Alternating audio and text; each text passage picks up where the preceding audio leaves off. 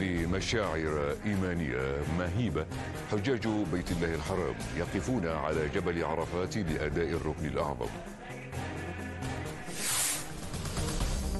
كما في كل عام ميليشيات الحوثي تستغل حلول عيد الأضحى المبارك وتفرض جبايات جديدة لدعم حربها. واستقبالا للعيد المبارك إطلاق حملة نظافة واسعة في سواحل ومتنفسات العاصمة عدن.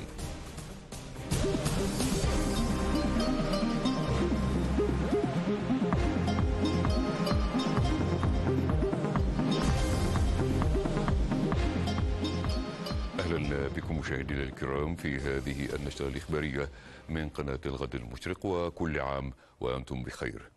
يواصل نحو مليوني ونصف المليون حاج التوجه إلى صعيد جبل عرفات لأداء ركن الحج الأعظم.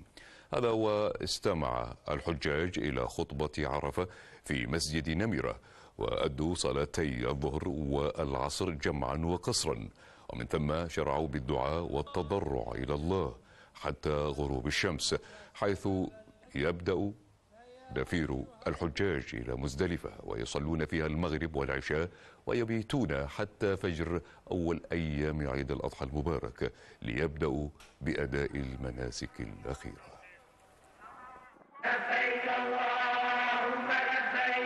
لبيك اللهم لبيك. بهذا الدعاء وبكامل معانيه ومشاعره الروحانية سار أكثر من مليوني حاج إلى جبل عرفات.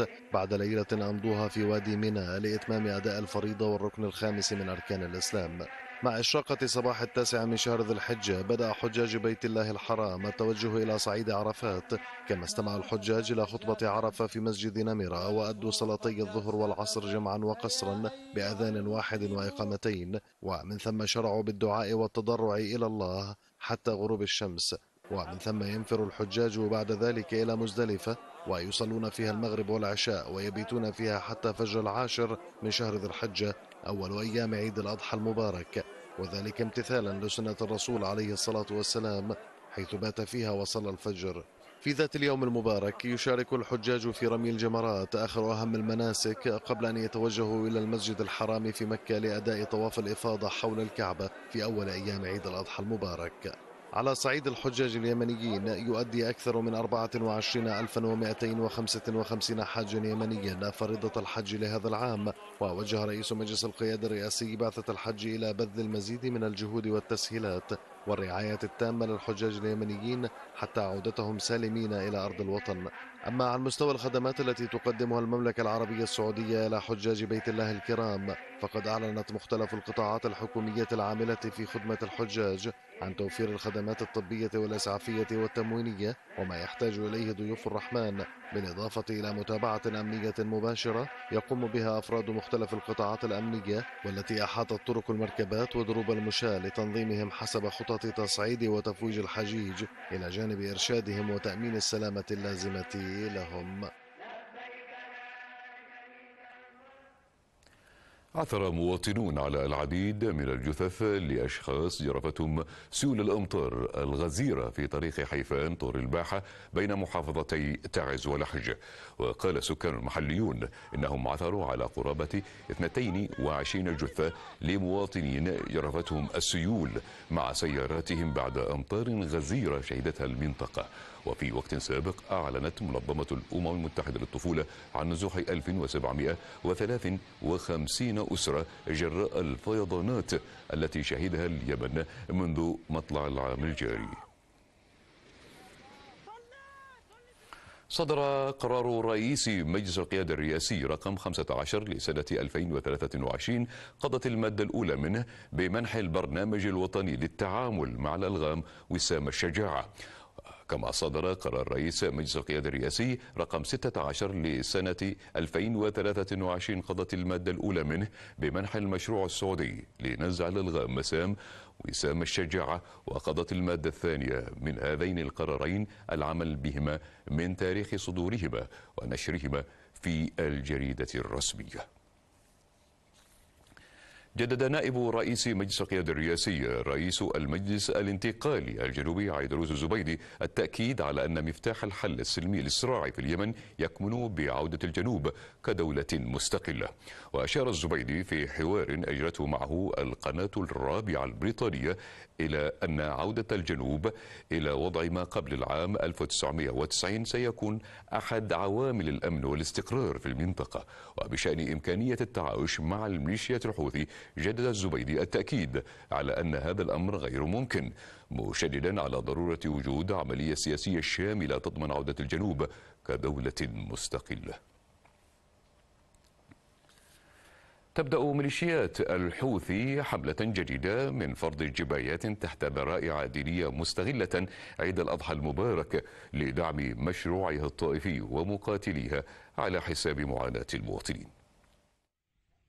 الاستغلال ثم فرض الجبايات تحت ذرائع دينية تستغلها ميليشيات الحوثي لصالح مشاريعها الطائفية خاصة مع اقتراب عيد الأضحى المبارك. أسلوب ومنهج تتبعه الميليشيات لرفض أرصدتها ودعم مقاتليها غير آبهة بمعاناة المواطنين وظروفهم المعيشية الصعبة. إذ بدأت ميليشيات الحوثي بحملة جديدة للجبايات تستهدف بها جميع شرائح المجتمع وبالأخص التجار وملاك المحال التجارية ولم يسلم منها حتى الجامعات والمؤسسات العمومية.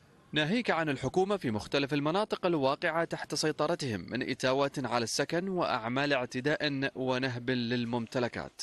ومن أوجه الاستغلال المتعددة لدى ميليشيا الحوثي مطالبتها بتوفير احتياجات العيد للمقاتلين في الجبهات من الأضاحي بمختلف أنواعها من خلال فرض التبرع بها على كبار التجار وملاك المحال التجارية. كما حدث في إب إذ فرضت الميليشيا عددا من الجهات الرسمية التبرع بأكثر من 2700 رأس من المواشي لصالح قياداتها ومقاتليها إلى جانب تبرعات نقدية.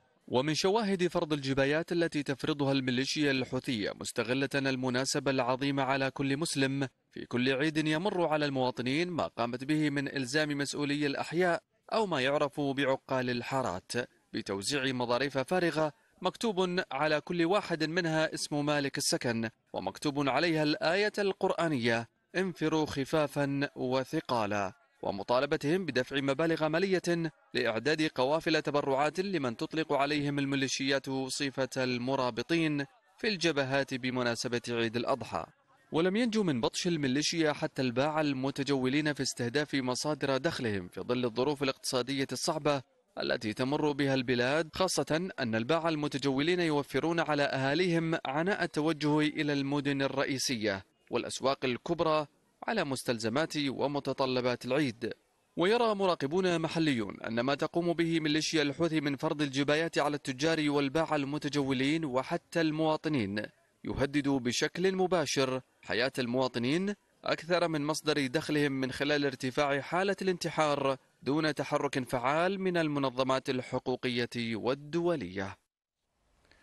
خصصت ميليشيات الحوثي نحو سبعة ملايين دولار بمناسبة عيد الأضحى المبارك لإنفاقها على العناصر الموالين لها فيما يعاني ملايين السكان من الحرمان من الخدمات وتوقف الرواتب ويحتاجون إلى مساعدات إنسانية عاجلة. في وقت تؤكد فيه تقارير أممية أن أكثر من 23 مليون شخص بحاجة إلى مساعدات إنسانية منهم 13 مليون طفل. تعلن ميليشيا الحوثي الانقلابية تخصيص عبر مؤسسة قتلاها وجرحاها وهيئة الزكاة التابعة لها أكثر من ثلاثة مليارات وستمائة مليون ريال يمني أي نحو سبعة ملايين دولار لإنفاقها على عناصرها. الميليشيات أعلنت عبر وسائل إعلامها أن تلك المبالغ ستخصص لإقامة مشروعات تتزامن مع قدوم عيد الأضحى تهدف إلى دعم أسر القتلى والمفقودين بين صفوفها دون غيرهم من أبناء الشعب اليمني في مناطق سيطرتها. هذا ودعا قادة الميليشيات جميع موظفي الدولة وما تبقى من مؤسسات القطاع الخاص في مناطقها إلى تقديم الدعم لعناصرها وعائلات قتلاها وجرحاها. كما طالبوا المبادرات الإنسانية والتطوعية ورجال الأعمال والميسورين بالتبرع لعناصرها متجاهلة خطر الجوع الذي بات يهدد ملايين السكان. في سياق استمرار توسيعها للانتهاكات المالية والإدارية في مؤسسات الدولة اليمنية أكد برلمانيون في صنعاء وجود فساد واسع في كافة المؤسسات الحكومية والقطاعات الخدمية. متهمين هيئة الزكاة الحوثية بأنها لا تركز على الفقراء والمساكين وأنها تفرض مبالغ مالية غير مشروعة على أصحاب المحال الصغيرة وباعة الأرصفة والباعة المتجولين دون الاقتراب من الشركات الكبيرة التي قد تكون شريكا رئيسيا فيها أو لموالين لها. إلى ذلك كانت مصادر حقوقية في صنعاء قد اتهمت في منتصف آذار المنصرم ميليشيا الحوثي عبر هيئة الزكاة التابعة لها بتخصيص نحو 16 مليارا و724 مليون ريال لصالح إقامة كثير من المشروعات المتنوعة تستهدف أتباع الميليشيات دون غيرهم من الفقراء والمعوزين والمحتاجين في المحافظات اليمنية الخاضعة لسيطرتها. نفذ صندوق النظافة والتحسين في عدن حملة واسعة في السواحل والمتنفسات تحضيرا لاستقبال العيد. يأتي ذلك بعد تسلم الصندوق معدات للنظافة من قبل السلطة المحلية. تنظيف السواحل والمتنفسات مهمة تلقى كل عام على عاتق هؤلاء الذين يعملون في أجواء حارة وساخنة لكي تبدو المدينة بحلة جميلة. ندشن اليوم عمل كناسات الشواطئ والسواحل في محافظة عدن. عدد آه، ماكينتين مع العربات ودخول هذه الآليات يعتبر آه، سوف يعطي نقلة نوعية في النظافة آه، لمرتادي السواحل والشواطئ وبيعطي انطباع إيجابي بالنسبة للنظافة المحافظة وخاصة مع استقبال عيد الأضحى المبارك. كل عام وأنتم بخير. ونحن عمال نظافة منطقة خور مقصر نقوم بدورنا كتنظيف الشواطئ والسواحل محافظة عدن.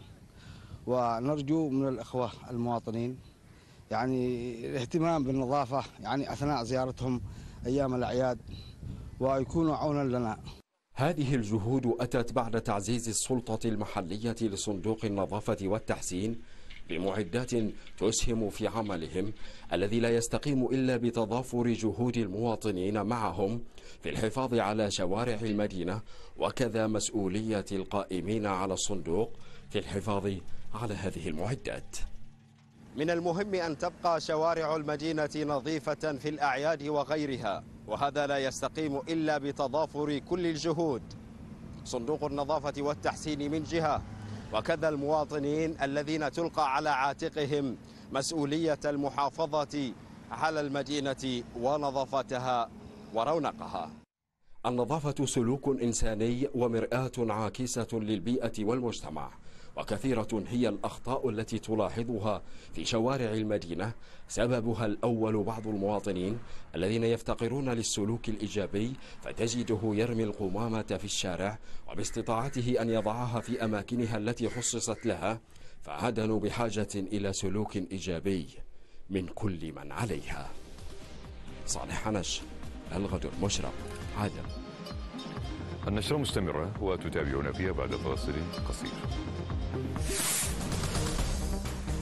أسواق المواشي في أبيض تشهد إقبالا على شراء الأضاحي.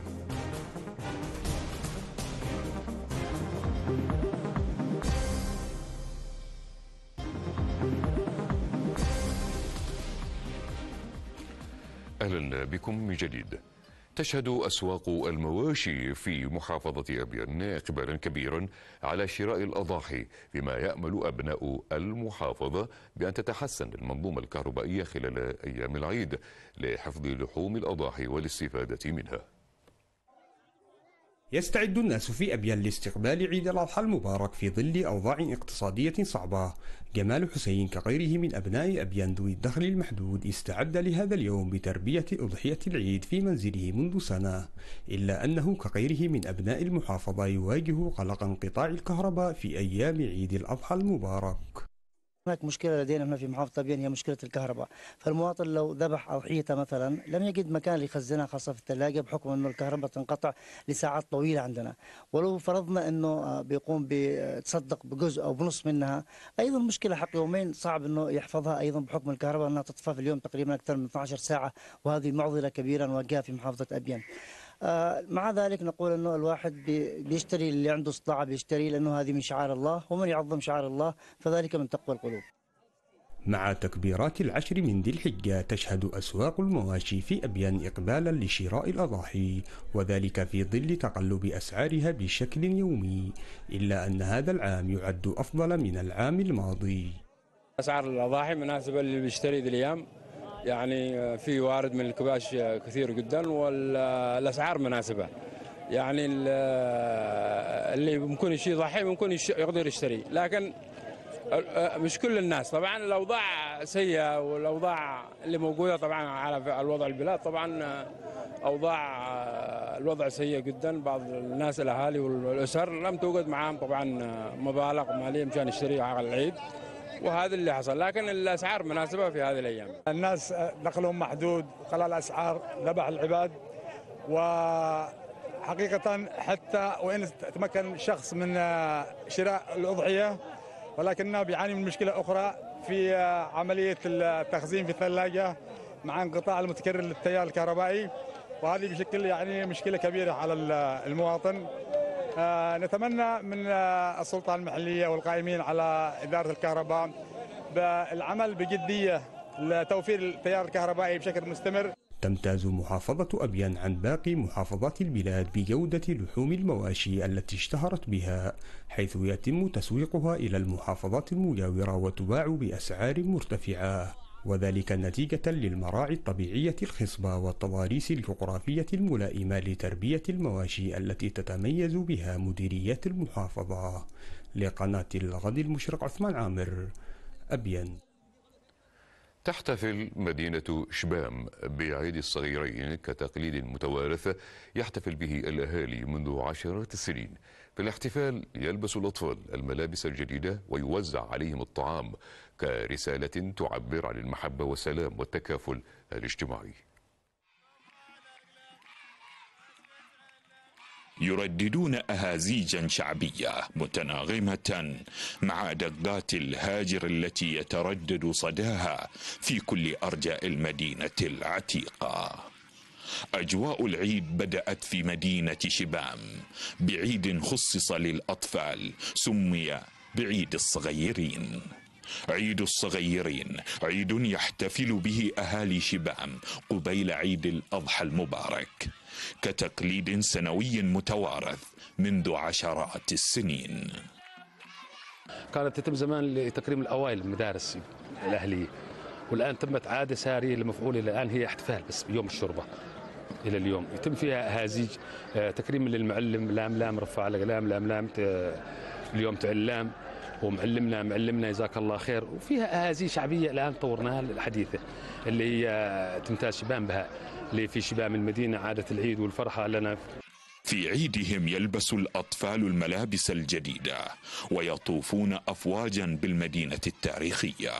مرددين الأناشيد الاحتفالية والتراثية المتداولة عند الجميع.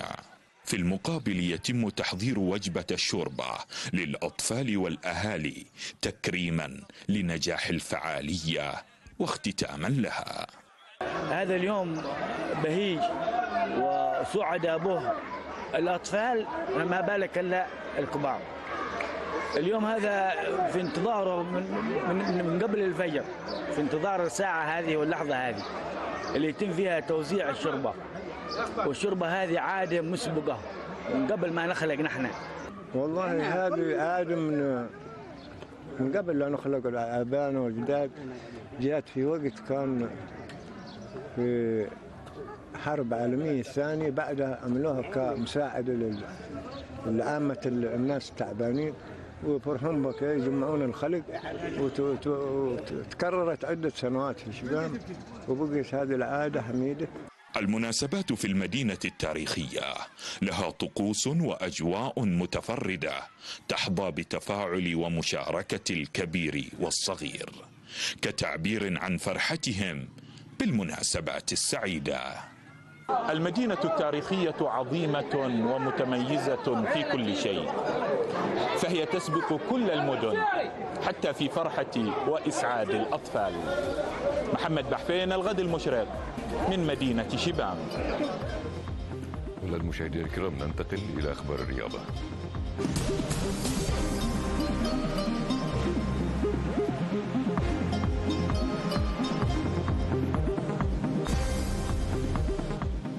الاتحادان الدولي والسعودي لكرة القدم إقامة منافسات بطولة كأس العالم للأندية 2023 خلال الفترة من الثاني عشر إلى الثاني والعشرين من ديسمبر في مدينة جدة.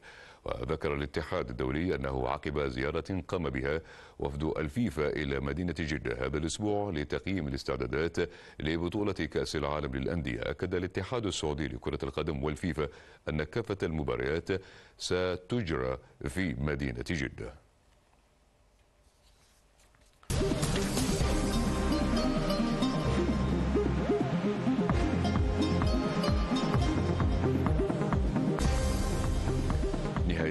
النشرة وهذا تذكير للعناوين. بمشاعر إيمانية مهيبة حجاج بيت الله الحرام يقفون على جبل عرفات لأداء الركن الأعظم. كما في كل عام ميليشيات الحوثي تستغل حلول عيد الأضحى المبارك وتفرض جبايات جديدة لدعم حربها. استقبالا للعيد المبارك إطلاق حملة نظافة واسعة في سواحل ومتنفسات العاصمة. عدن